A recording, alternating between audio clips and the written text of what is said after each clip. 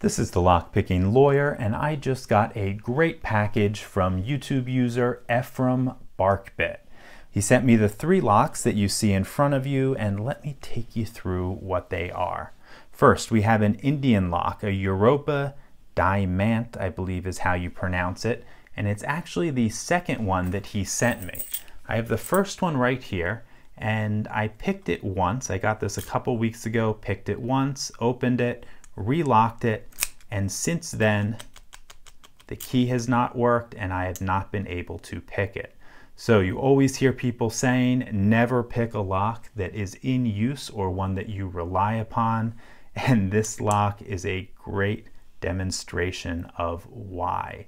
I completely bricked this lock. I suspect what I did was turn that core 90 degrees and probably let some of the drivers and or springs get jammed up in the mechanism and now it does not work at all. However, Ephraim sent me a replacement so thank you very much. That's actually the one we're gonna pick in this video but first let me take you through the other locks.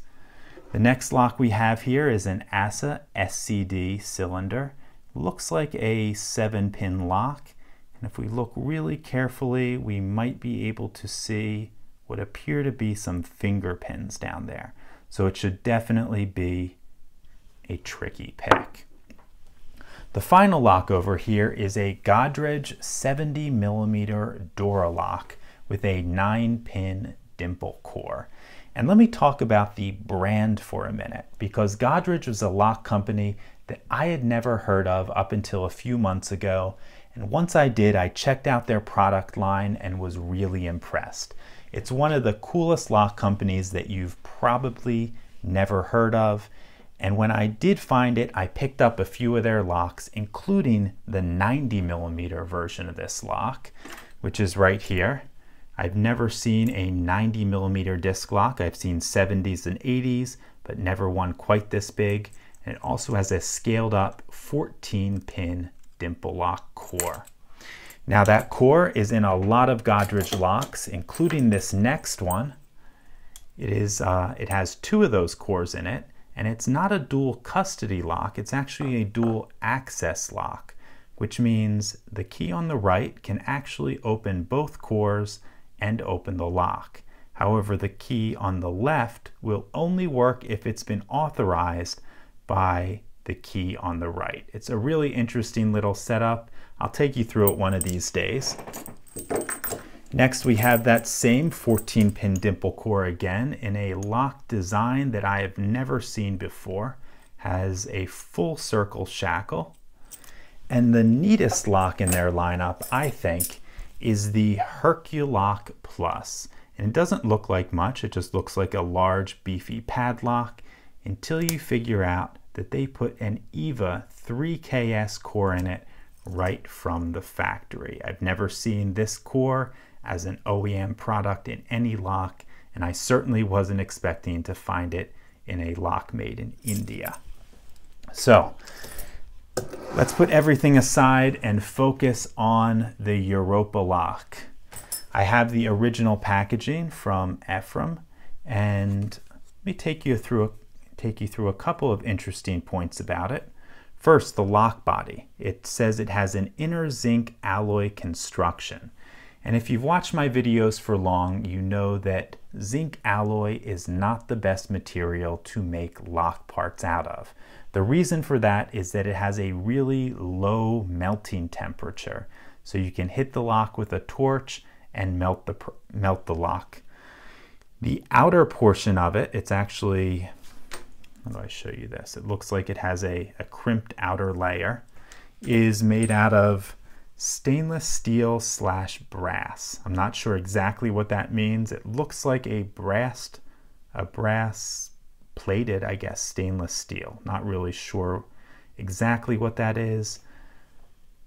But the next interesting part is the, the key. It's a 14 pin dimple key lock.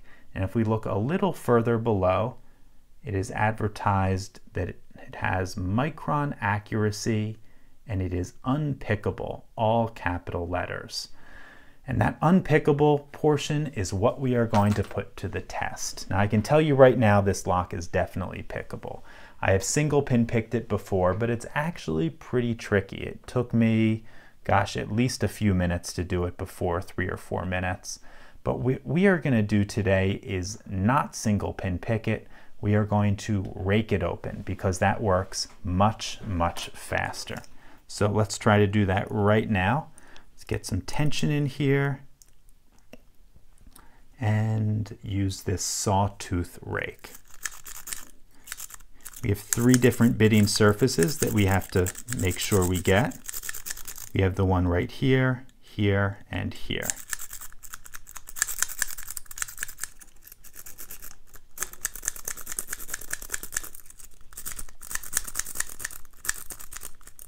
Okay, I'm not getting it. So let me reset the lock and try again.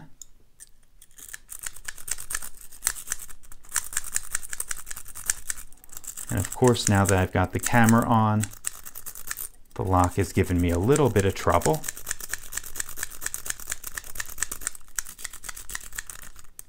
And I think we just got it. There we go.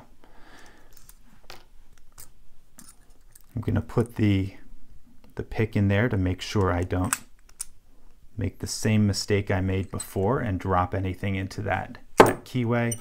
But you can see we do have it open. Let me relock it before something bad happens. Okay, so this has been the Europa Diamant padlock with the 14 pin unpickable core. And as you can see, it was raked relatively quickly. Certainly not unpickable, but definitely a very interesting lock. So, Ephraim Barkbit, thank you very, very much for sending two of them my way. Sorry I messed the first one up. To everyone else, if you do have any questions or comments, please put them below. If you like this video and would like to see more like it, please subscribe. And as always, have a nice day. Thank you.